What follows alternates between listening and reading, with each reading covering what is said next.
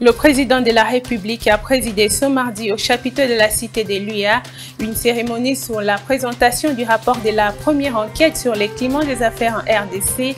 Il a encouragé le travail qui va dans le sens d'assainissement du climat des affaires. Affaire Salomon Kalonda, la réaction du porte-parole du gouvernement ne s'est pas faite attendre au lendemain de l'arrestation du conseiller de Moïse Katumbi. Pour Patrick Mouyaya, il faut laisser la justice faire son travail. Cependant, Ensemble pour la République de Moïse Katumbi rejette en bloc les accusations du renseignement militaire porté contre Salomon Kalonda. Selon eux, ce dossier est plutôt vide. Les détails dans cette édition. Bonsoir à toutes et à tous. Bienvenue dans votre journal. Le président de la République a présidé ce mardi au chapiteau de la cité de l'UIA la cérémonie des présentations du rapport de la première enquête du baromètre national sur les climats des affaires en RDC. Félix Tshisekedi a encouragé le travail qui va dans le sens d'assainissement du climat des affaires en RDC. Regardez. Ma vision de faire de la République démocratique du Congo un État prospère m'a conduit, dès mon accession à la magistrature suprême, à reconnaître l'impérieuse nécessité d'améliorer le climat des affaires et de promouvoir l'entrepreneuriat en vue de favoriser la croissance économique durable pour notre pays et par conséquent créer de la richesse et des emplois au bénéfice de notre population.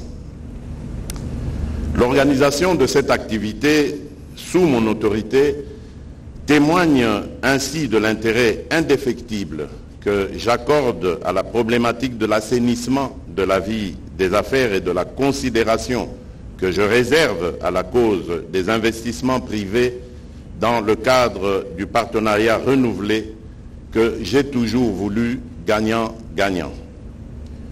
C'est donc pour moi un honneur de participer personnellement à cette cérémonie de publication des résultats de la première enquête du baromètre national du climat des affaires. Je me réjouis de ce que ce baromètre dont j'avais annoncé l'avènement lors de mon discours sur l'état de la nation en décembre dernier, puis à l'occasion de la cérémonie d'échange des vœux membres, avec les membres de la FEC au mois de février dernier, et tout récemment, lors de la 94e réunion du Conseil des ministres du 14 avril 2023, est aujourd'hui une réalité.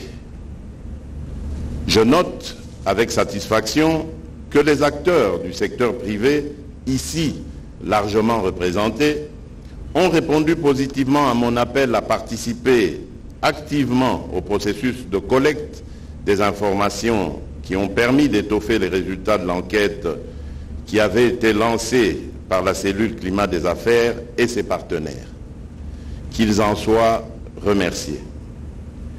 Je tiens à saluer particulièrement la cellule climat des affaires qui, fort de son rapprochement avec le secteur privé, ne tarit pas d'imagination pour susciter des initiatives et réformes visant à rencontrer les aspirations profondes des opérateurs économiques et par ricochet à améliorer autant que possible les conditions d'investissement et d'exercice des activités économiques dans notre pays.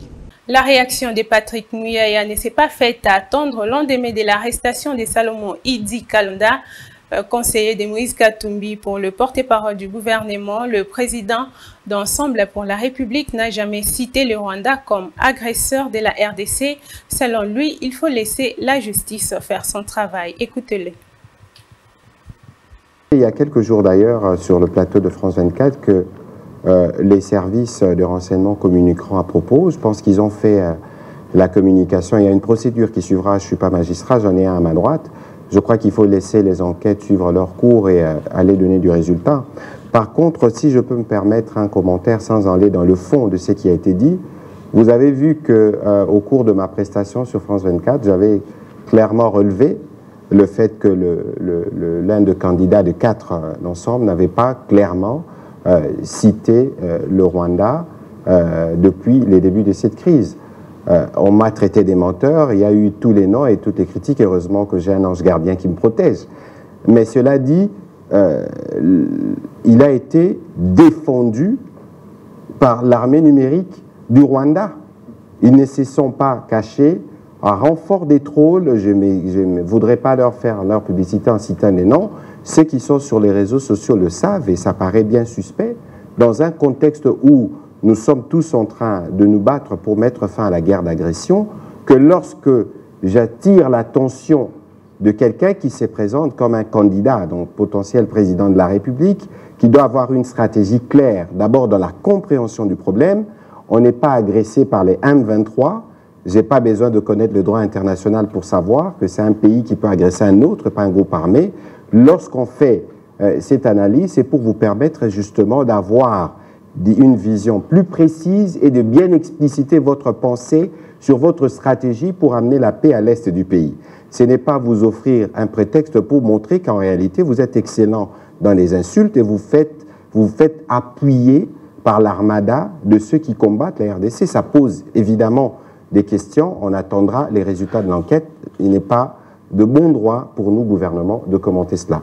Toujours dans un même chapitre, Ensemble pour la République de Moïse Katumbi n'a pas tardé de répondre juste après les accusations du renseignement militaire. Il rejette euh, plutôt les accusations portées contre le, conseiller de Moïse Katumbi. Selon eux, ce dossier est vide. Suivez. L'enlèvement de M. Salomon Kalonda, sa séquestration pendant une semaine et la publication des griefs mis à sa charge pour son transfert devant les juridictions militaires se font dans l'illégalité d'un pouvoir déstabilisé par la présence à Kinshasa de notre président national. Tout le monde le sait. Le peuple congolais le sait aussi.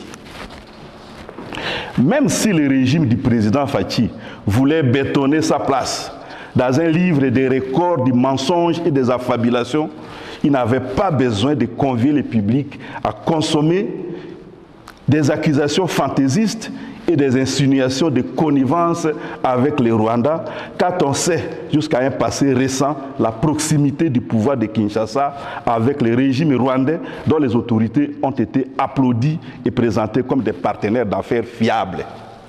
Voir la persécution à l'endroit des acteurs de l'opposition procède non seulement d'un aveu d'échec face au bilan calamiteux de cette mandature, mais surtout d'un complexe de peur ou de désespoir de perdre le pouvoir face au projet alternatif que nous proposons aux Congolais de quitter définitivement leurs conditions d'esclaves aujourd'hui pour une gouvernance de qualité à la manière dont une personnalité comme notre président national, le chairman Moïse Katumbi Chapoué, a fait preuve dans son parcours antérieur.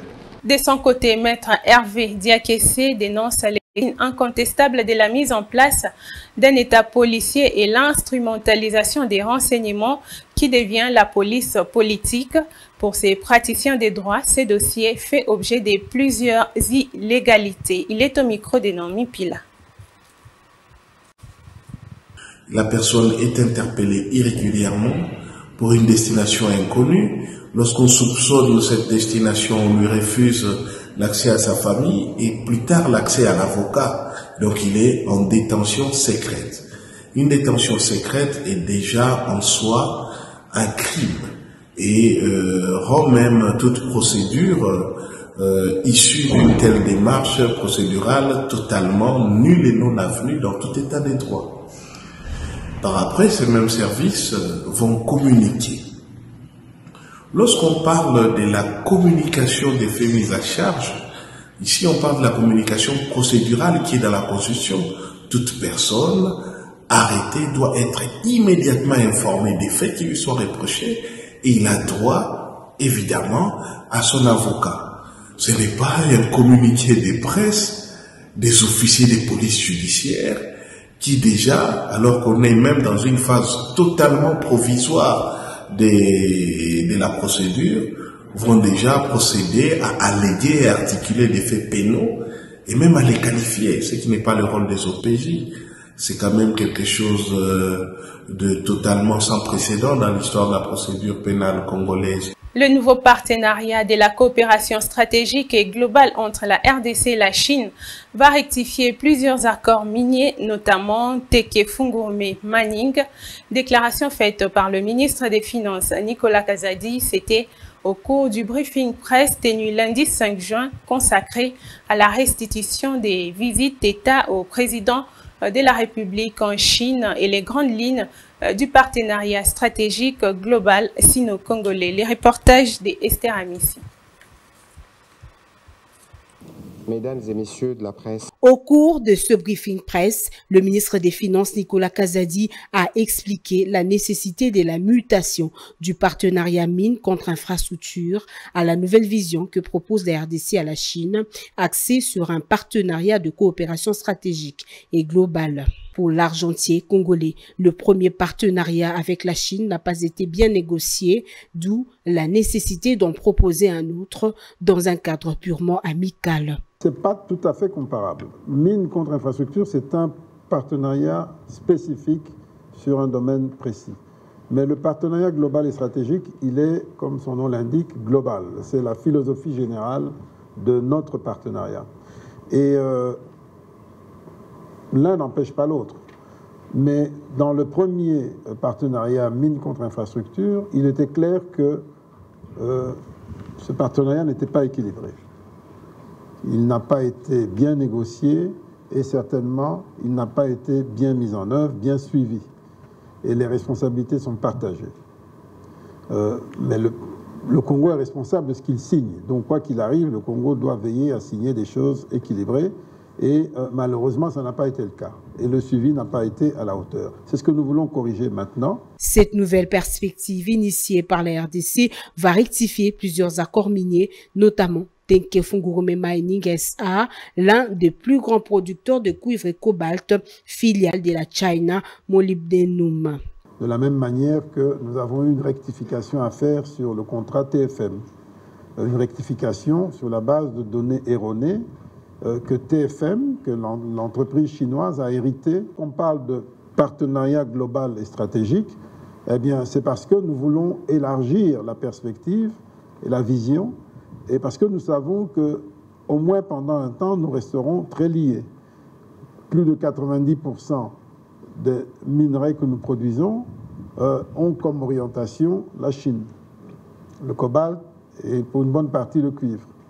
Et la Chine qui est le premier euh, pays de transformation du cobalt à l'échelle mondiale. Donc nous resterons liés pendant un temps. Mais nous avons nos propres objectifs stratégiques. Le VPM les a mentionnés. Nous voulons transformer localement. Dans sa nouvelle approche avec la Chine, la République démocratique du Congo veut bénéficier de la valeur ajoutée du partenariat sino-congolais et tient au respect strict des normes sociales et environnementales. Pour rappel, dans un rapport d'enquête, l'inspection générale des finances avait dénoncé le caractère déséquilibré du contrat chinois signé sous les régimes de Joseph Kabila. Dans un autre volet de l'actualité, le député national Daniel Safou va connaître son sort ce mardi 6 juin après avoir été auditionné par une commission spéciale mise en place par l'Assemblée nationale. Le député de la famille politique de Moïse Katumbi est accusé d'avoir tenu des propos incitant à la haine tribale lors de son intervention dans une chaîne de télévision émettant à Kinshasa juste après la marche de l'opposition. Son audition a duré plus de trois heures ce lundi devant une commission spéciale. Après le dépôt du rapport de cette commission, l'Assemblée plénière devra statuer sur les cas Daniel Safou ce mardi. Il risquerait même l'invalidation de son mandat d'après plusieurs sources. La Convention chrétienne pour la démocratie, CCD, renouvelle sa demande d'organiser une marche populaire et pacifique ce mardi 13 juin dans une correspondance adressée au gouverneur de la ville dont une copie est parvenue à notre rédaction. La marche partira d'Elemba Terminus avec comme point de chute la paroisse Saint-Raphaël d'où une délégation ira remettre un mémorandum au président de l'Assemblée nationale et celui du Sénat. Le ministre en charge des Affaires étrangères et francophonie congolais Christophe Lutundula a échangé le lundi 5 juin dans son cabinet de travail avec la chargée des affaires de l'ambassade soudanaise à Kinshasa, Moussaba Altoum, autour de la mort des dix Congolais tués par des bombardements effectués le dimanche dernier sur le campus de l'Université internationale d'Afrique située à Khartoum. La santé maternelle, la mortalité infantile, la lutte contre les paludismes et les prophylaxies sont autant des sujets évoqués au cours des échanges entre le ministre de la Santé publique, Hygiène et Prévention, le docteur Samuel Roger Kamba et le représentant pays de l'UNICEF. Ces rencontres régulières entre le ministère de la Santé et l'UNICEF vont permettre de faire le point sur l'évolution de chaque programme. Suivez. Il s'agissait d'une visite courtoisie.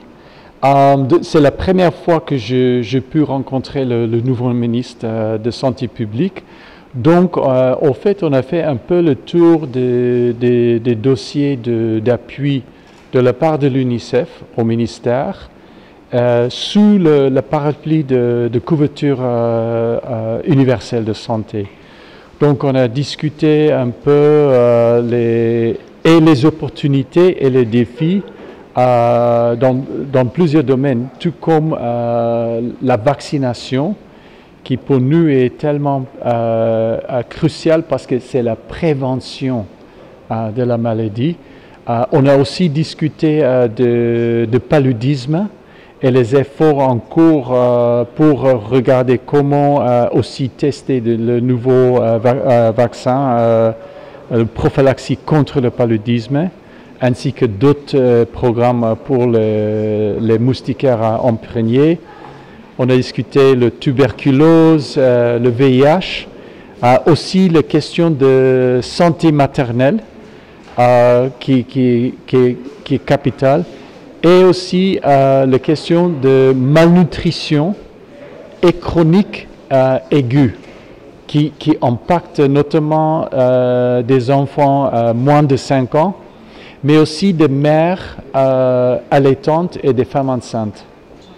Vraiment très très satisfaite. donc on s'est accordé immédiatement une, une réunion de suivi et la prochaine fois on va, va faire ça avec un peu plus de temps pour qu'on puisse aller dans le détail, dans le vif du sujet. Et on va le faire ça conjointement à trois entre le ministère de la Santé publique avec euh, nos, frères, euh, l'Organisation mondiale de santé. On parle sociétés pour terminer. Pour Marie, une mère des familles, la cinquantaine révolue, vendre les pains est un métier qui lui permet de nouer les deux bouts du mois et de nourrir sa famille. Malgré les difficultés rencontrées, Marie soulève aussi que la hausse des prix des pains ces derniers temps devient un casse-tête pour ses clients. Elle invite donc les autorités compétentes à revoir cette situation. Laetitia Mwemba. À Kinshasa, capitale de la République démocratique du Congo, de nombreuses femmes se livrent au métier des vendeuses de pain. Les revenus générés par ces métiers permettent aux femmes vendeuses de pain de faire face aux charges ménagères et compensent l'incapacité de leur mari. C'est le cas des maris à la cinquantaine révolue, mère d'une famille. C'est depuis 2012 qu'elle exerce ce métier car son mari a perdu son emploi, la vie dans le foyer était invivable qu'elle avait décidé de vendre le pain. Sikoyo awa etikali moke baye kobenga na biso. Bolongo bolongo bolongo bolongo. Totomboli maposimi nzela obimi okei me awa balobi so papa azosala te mama luka mpo bana batanga bana balia. Lelo fio biso tofivre kala ezalaki mama vandi papa azoluka azoya koleza. Me lelo biso bato tozonyokama awa. Na miniti olipa oyo ezalaki 200 me ekomi lelo combien 300 banda mundela ya toteka commission lipa oyo 1500 amatisela biso commission te ese ye mokonzi ya mboka kolobela biso te biso tokotile mbongo ebele me ye commission oyo ya biso ezokota mokie. Sikoyo président akoki koloba te lokola aliaka lipa oyo te moya tala makambo ya mapa oyo eza te. Sunga nga numero 1 bana na nga batanga awa. Bana na nga baliaka awa. Il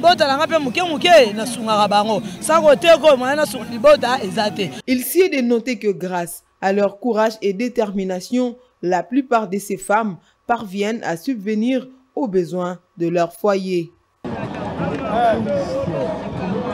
Ce journal tend à sa fin. Place au rappel des titres.